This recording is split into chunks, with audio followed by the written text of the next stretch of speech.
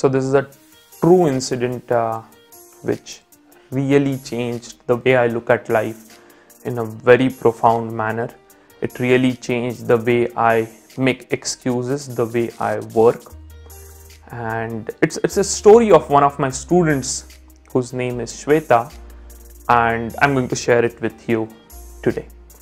Now, as a teacher, as an educator, I uh, you you would always feel that we are the ones which teach everyone um, everyone around us. But uh, believe uh, me, a lot of times, in fact, most of the time, we educators learn a lot of deal, learn a big deal from what our students uh, do. And uh, Shweta was one of these students who uh, whose experience, an experience of interviewing her, an experience of getting her ready for an interview, really changed uh, the way I look at life. And I'm going to tell you her story today. Uh, I uh, used to work in a lot of graduation schools in and around uh, North Maharashtra region, and I would go to these schools and I would do interview trainings for a lot of students. Now, generally, the graduation schools would call um, us uh, trainers in at a time when you have some kind of uh, interview scheduled in a near future. And this was one of such uh, excursions, and I was I had gone to a very rural place near Nasik. In the midst of this uh, uh, whole of this thing, I, I, kept on interviewing the students, and interview after interview, student after student, it's the same story, the same resume, the same English, the same resume, the same English, and then then this girl um, called as Shweta, uh, this girl whose name is Shweta, she walks into the uh, interview room. She asks me, "Sir, can I take a seat?" I say yes, and she sits and starts giving her interview. And very surprisingly, very surprisingly, she is much better in English as compared to everyone else. So she gives a very good interview. She uh, she talks very well in English. She she talks confidently, um, not not extremely confidently, but confident enough to uh, face the interview and talk to me right in the eyes. And uh, she, she, she does uh, all of these things. Her, her resume is the same, but uh, but on the interview part, she really uh, does well. Now there are two things which I observe about Shweta and two uh, uh, two things which I observe. One thing is her English is good, but the second thing when I take a look at her resume, uh, it reads that in her 10th standard her percentile was 88 or 87 in her 12th uh, no it was a diploma. So uh, in her first year second year and now in third year. In her first year her percentage was again uh, in some 80s and she was one of the toppers. In her second year in her second year her percentage was 51 or 52 percentage. And in the third year um, in the first sem her again percentage was something around uh, something in 80s so uh, two obvious questions uh, that that went on to Shweta once my interview was done. First was uh, Shweta uh, how is your English good? How is your English good? Right? Uh, how come um, when I compare it with everyone in the class how is it that your English is good? And the second one is why uh, this drop in percentage? I mean you you seem to be someone who's very good in academics. So why this drop in percentage now uh, when i asked her the first question why is your english uh, how how come is your english good? Uh, she she very quickly took out uh, took out the book of uh, a dictionary a marathi to english dictionary and a Wren and Martin book from her bag and she showed it to me. It, it was a book which has which had almost torn out a book which uh, had pages which were coming out but were properly stacked in. And one part of the book was uh, like the uh, the part from where we uh, turn the pages that part was almost uh, worn out to a huge huge extent so these two worn out books uh, she, she takes them out and she says sir i have been following these two books and i was really passionate about learning english I, I wanted to learn English so that I could get good career opportunities from my school. That is the reason why my English is kind of a little better than everyone else um, in the class. She said, "Sir, uh, please don't, uh, please don't judge my classmates because uh, in in our schools, uh, going in at 8th and 9th standard we are taught abcd and it is very common for uh, you to go in 10th standard and then students struggling with english even basic english over there. She says that she developed her english by doing this by uh, reading some english newspapers every english newspaper that she could get a hand upon and also at times listening to english radio news uh, so that she could get some good pronunciations and um, start understanding what English was. So all India uh, radio broadcasts English news, right? So so she she would listen to those news and that is how she built up on her English and, and that was that was very inspiring because uh, not a lot of students had done that. I said, wow, Shweta, good, great, wow, fantastic. But then the second question, Shweta, uh, why is there a drop in the percentage for your second year of diploma? And when I asked her that question, uh, she could not speak for about 10 odd seconds. There was uh, there was pin drop silence in the classroom.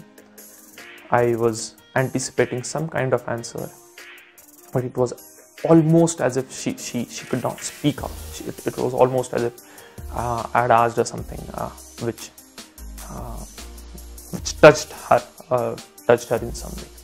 But being a brave girl which she was she overcame this and she pointed outside uh, uh, outside of the window there was a girl standing with a kid in her uh, kid in her arms and Shweta said sir uh, that kid over there that boy he's my son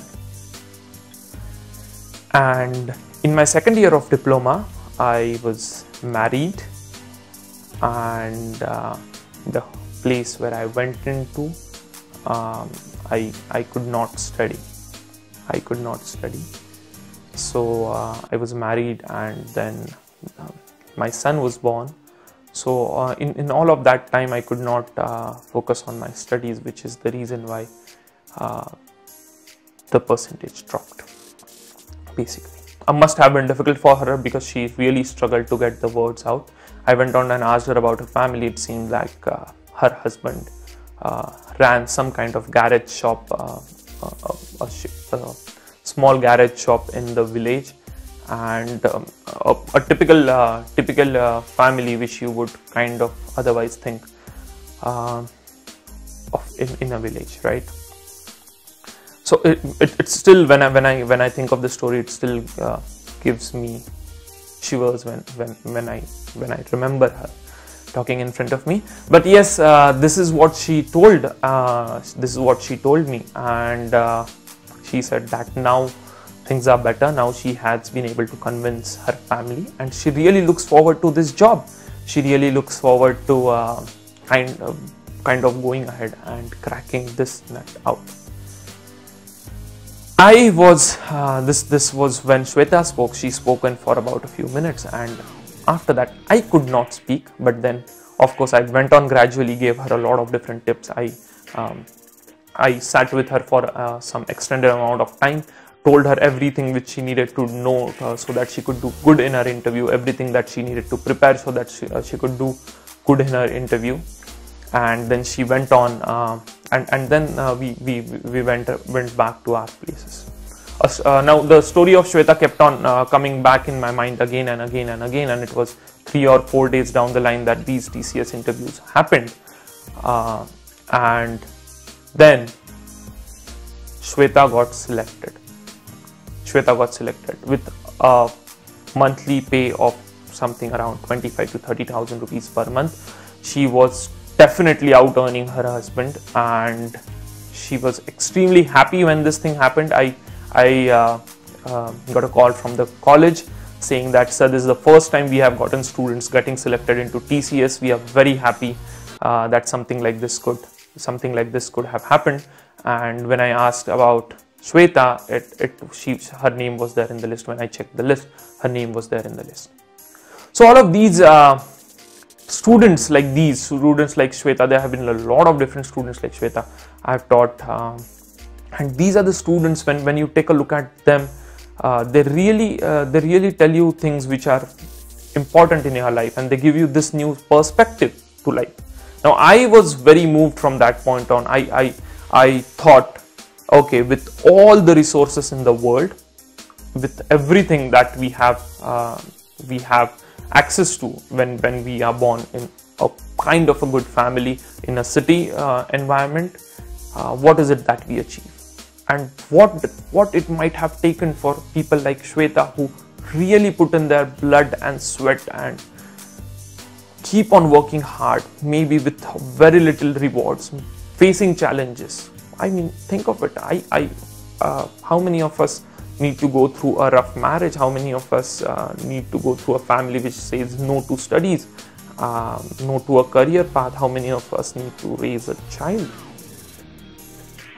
And then do our studies along with uh, doing all of those things. Very rarely right? But then there are people like uh, Shweta who do this and uh, that is something uh, that that is the reason why I said this was one of the instances which really changed my life. I went in there as a teacher but I came out there learning a lot of lot of life lessons uh, learning things which are going to stay with me for the entire life. Now this is a story which I share with share in some of my classes which I take. Uh, never made it out in public never made it out on the internet till now. Um, but yes I thought this is the right time to probably get it out. So do tell me um, what are the resources which you have? Do tell me what is your excuse? What is your excuse? Do you have a child which you have to uh, bear uh, when, when I ask you ki, acha, why, what is the skill that you need to learn? You know the skills which you need to learn. But then you also have a hundred excuses ready which uh, wherein you tell this is the these are the reasons why you could not learn that skill um, we a lot of us have uh, a, a, lot of us have rough histories wherein we are able to pinpoint ki my school was not great which is the reason why my english is not good. My school and my uh, college exposure was not great which is the why uh, which is the reason why i don't have good technical knowledge. But but you really have a lot of resources. Are you making good utilization of all the resources that you have? Is the question that i want to ask you today do tell me uh, the answer to this question if you have any. And do tell me how you found this story to be. Do tell me uh, the other topics you want me to make videos upon. This was of course one of the videos in our be productive series where we make one video every day to help you guys to be better versions of yourself to help you guys to be more productive. I hope uh, that the story of shweta teaches you a lot of things I hope it allows you to have some kind of perspective in life. I hope it allows you to come out of giving excuses and start working on your goals, start working on your dreams, start working on your aspirations. So that was me, Ajinkya, and I'm going to sign off with that. I'm again going to see you tomorrow. Till then, Tata, bye bye, sayonara.